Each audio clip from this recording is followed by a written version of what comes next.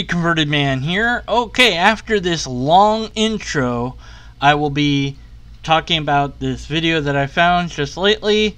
This guy's journey from atheism to pantheism, and what he says in the video, and pointing out what, if any, logical fallacies he might have incurred on his journey. Here's the long intro. Hi. Wow, what a long intro. Time for his video. There was just a lot of preconceived ideas that I just held to that were really, really difficult to justify. One of those were was objective morality. So we're exploring whether or not any given idea can be justified. And if you can't justify an idea, then either you should be skeptical of it or you should try to find some way to justify it. But the way that you justify it itself also has to be justified. So this could be a fairly long process. And I'm I'm under I'm understanding of this. That that seems to make sense. So I need to justify uh, objective morality, assuming that's a thing. And there's various different ways to look at that. Well, what ethical system are we utilizing? That would be a question because depending on that will then inform me if I can or can't justify the morality to be objective. It's objective in the sense that it points to the ethics. Maybe you could look at it that way. Or maybe you could say, well, the ethics themselves are subjective. So I actually need an objective ethical system and then an objective morality that would follow. So, how do I justify that? Maybe it's simply an assertion. Maybe it's justified by an axiom or a tautology. That could be a solution.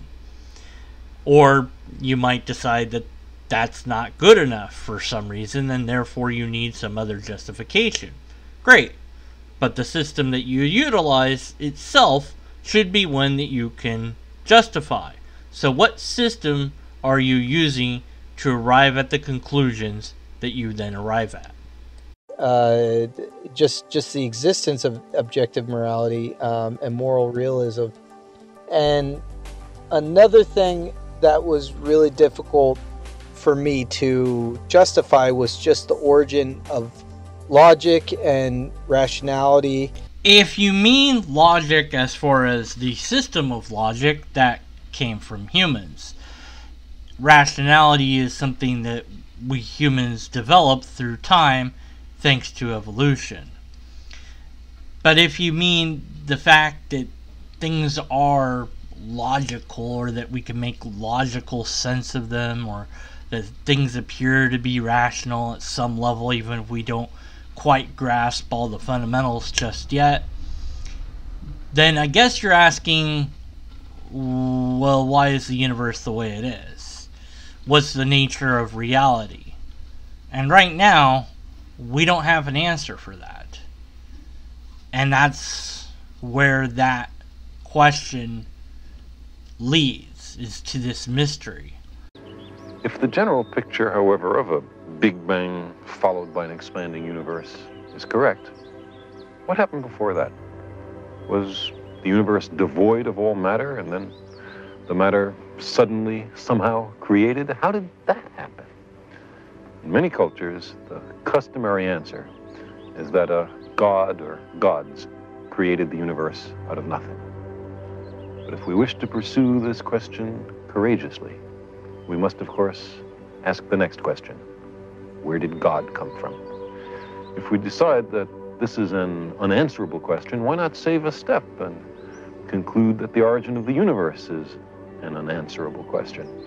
Or, if we say that God always existed, why not save a step and conclude that the universe always existed, that there's no need for a creation, it was always here? These are not easy questions. Cosmology brings us face to face with the deepest mysteries, with questions that were once treated only in religion and myth.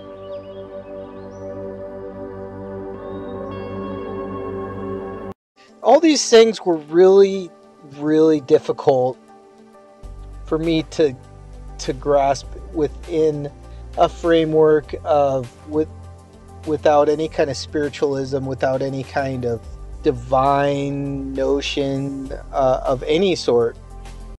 There will always be questions, but there might not be answers. What is spiritual? What is divine? What is God? What is it made out of? How does it work? When? Where does it exist? How does it exist? What is it like to be that thing? You can't answer those questions, so really you're just moving the goalpost back a bit. I don't know. Must be God. Well, how do you explain God? Well, you, it's a mystery. Okay, well, as Carl Sagan said, why not save a step and be satisfied with the mystery of the universe itself? Reality being a mystery is good enough. We don't need to add another mystery to it and then pretend that that mystery solved the problem, do we? If you don't know or can't explain spiritual or supernatural or God or soul or divine, then you don't really have a justification for those things either. You can't really believe that morality is real, like a, a real thing, without holding to something making it real. Like something has to make it real outside of a human mind. Has to be this. It has to be. No, it doesn't have to be. But this sounds an awful like an appeal to personal incredulity. I can't come up with some other. It can't just be humans. It's got to be something more. Why can't it just be humans? Why can't any idea or any concept be that we humans made it up? Okay, so let's view, since you're talking about morals, in this sense. The game of chess. We invented chess. Humans invented chess. You don't need a divine or spiritual anything for chess, right? We agree on what the pieces are and what the board looks like and how the pieces move and what the condition to win is. That is objective. The rules of chess are absolutely objective. Now, maybe you don't know them, but you can be taught them. You can be shown them. You might say, well, I don't like that the pawn moves this way. I'd rather it move that way. Okay, but you're not playing chess anymore if you're doing that. You're playing a game like chess, but it's not chess anymore. And you're welcome to do that if the other person agrees to do that, but you're playing a different game. And if morals are that way, then great, fine. But we would be able to lay it out in logical terms just like we do with the rules of chess, which would seem that it would need ethics of some sort, being the rule book, maybe. But regardless, it's still from humanity. What's the problem with that? We can all understand and agree on concepts that we made up, regardless of the fact that we made it up. Unless, of course, we need a chess god for there to be chess. Maybe it's all the Red King's dream after all. For for that to be a real thing.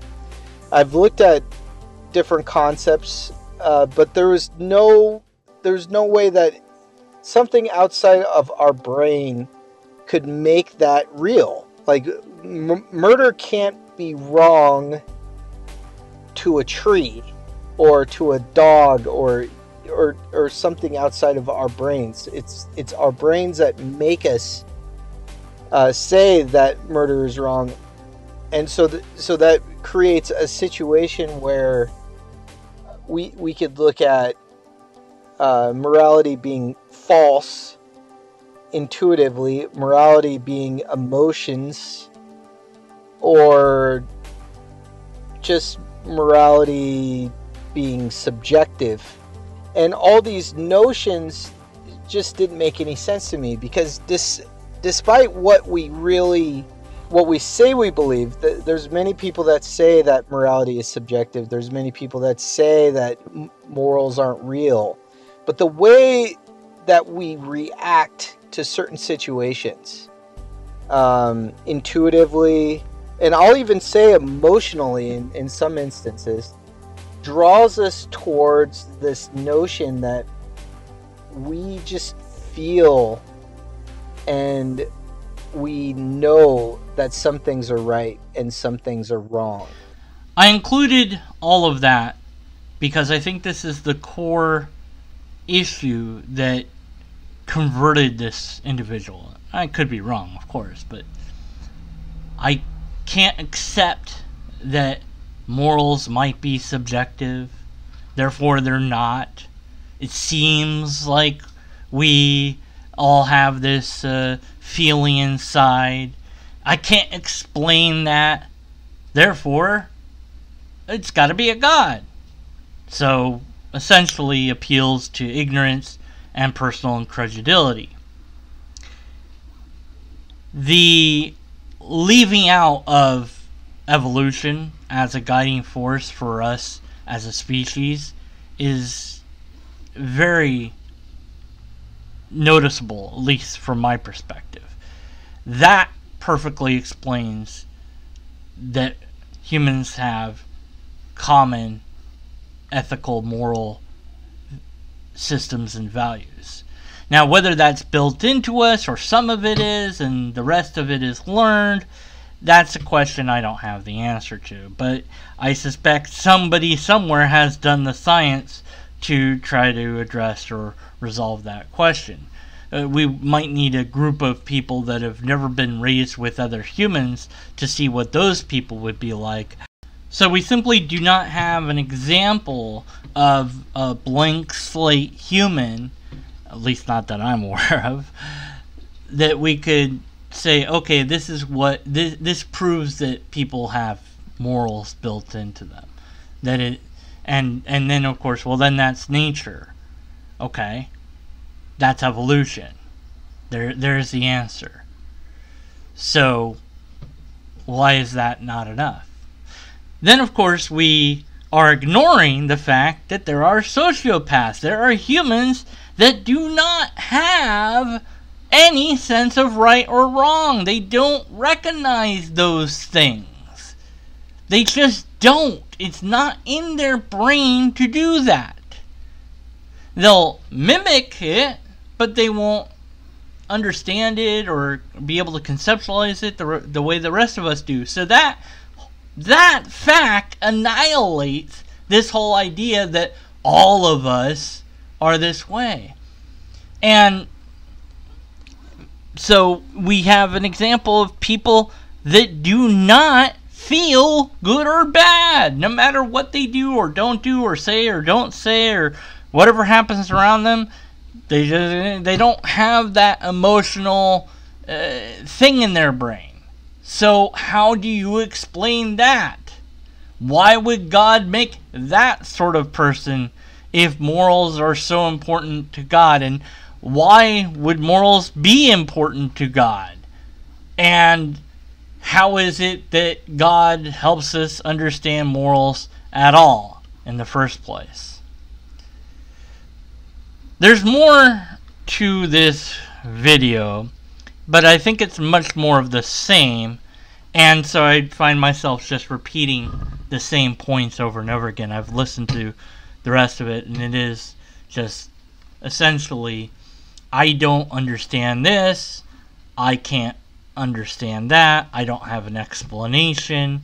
I can't believe that it's this. Therefore, God. Now, to me, it doesn't matter whether, whether it's a deistic God or a theistic God or whatever. We don't need the word God. We have nature, and nature doesn't need to be capitalized. We have evolution, we have the fact that brains are extraordinarily sophisticated, and we have many mysteries that we have yet to figure out. But we also have systems that we can be pretty darn sure of. The scientific method, and somewhere alongside of that, or below it, or next to it, would be the system of formal and informal logic. If you want a third system, you're going to have to explain how that system works. And until you or somebody presents that system, I think that we should stick with the scientific method and logic. And to summarize that, I say we don't have any empirical evidence or repeatable test or valid and sound argument, thus, we must be skeptical of the conclusions. Banana.